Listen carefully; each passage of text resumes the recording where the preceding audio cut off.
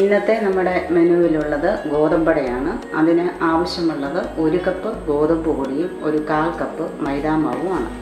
പിന്നീട് ആവശ്യമുള്ളത് ഒരു കപ്പ് തേങ്ങ ചുരണ്ടിയതും നാല് ടേബിൾ സ്പൂൺ പഞ്ചസാരയുമാണ്. ഇനിയും നമ്മൾ എടുത്തു വെച്ച എല്ലാ സാധനങ്ങളും ഓരോന്നോരോന്നായി ഒരു ബൗളിലേക്ക് എടുത്തിടേണ്ടതാണ്.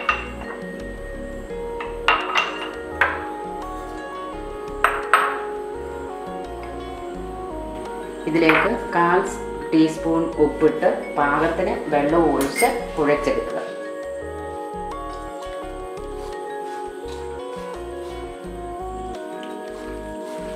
ഇത് കുഴയ്ക്കാൻ നമ്മൾ ഒരു കപ്പ് വെള്ളം ഉപയോഗിച്ചു. അങ്ങനെ കുഴച്ചെടുത്ത മാവാണ് ഇവിടെ ഇരിക്കുന്നത്. സ്റ്റൗ ഓണാക്കി ദോശക്കല്ല് വെച്ച് അതിൽ എണ്ണ പുരട്ടിയോ.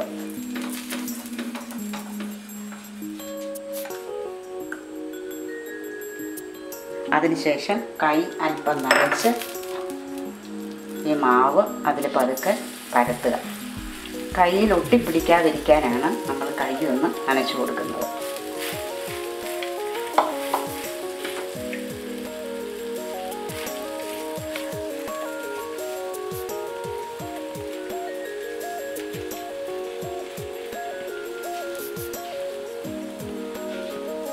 നമ്മൾ പരത്തി വെച്ച മാവ് ലോ ഫ്ലെയിമിൽ ഇത് മൂക്കുന്നത് വരെ വയ്ക്കുക അതിനുശേഷം ഒരു അഞ്ച് മിനിറ്റ് ആകുമ്പോൾ ഇതൊന്ന് മറിച്ചിടാം. ഇനിയിപ്പോൾ നമുക്കത് മറിച്ചിടാം.